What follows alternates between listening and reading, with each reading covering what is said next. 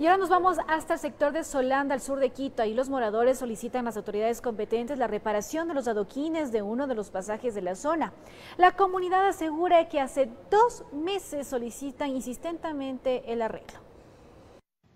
El problema habría iniciado hace aproximadamente dos meses con una fuga de agua en el pasaje Ambuquí. Según comentaron los habitantes, luego de varias peticiones, la tubería fue reparada. Sin embargo, los adoquines no se volvieron a colocar. Nunca vinieron a arreglar los adoquines. Se ha llamado mil veces y no vienen. Un grupo de trabajadores vinieron y pusieron la, la tubería después de mucho tiempo de estar yéndose el agua y lo dejaron así para que otro grupo de trabajadores que termine poniendo el adoquín, pero no han venido meses hace Uno de los moradores más afectados por el daño mencionó que debido a la falta de atención decidió arreglar parte de la vía para poder ingresar a su casa.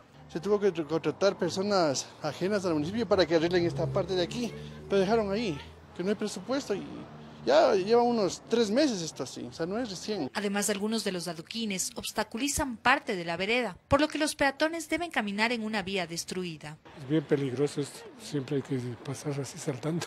Imagínense, eso se puede volver a romper la tubería con el peso de los vehículos. Las solicitudes del arreglo inmediato de este pasaje, que colinda con las avenidas Cardenal de la Torre y Solanda, en el sur de Quito, informó Sofía Vintimilla.